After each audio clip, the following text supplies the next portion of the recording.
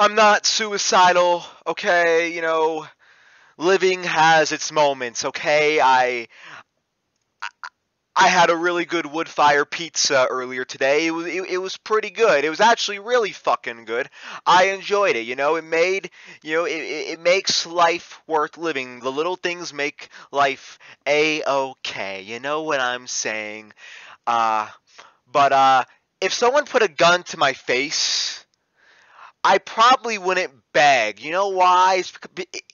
It's because even through I don't want to die, I don't want to look like a bitch. You know what I'm saying? I I don't want to be a, a sobbing, begging, crying mess. You know, I I want to have some dignity, you know? So, you know, if some asshole just tried to kill me with the gun to my head, you know, I I would I wouldn't beg. I'd be like, make your fucking move. I don't give a shit. Okay, make your fucking move because I'm not gonna beg. I'm not gonna fucking cry. Okay, because you know, uh,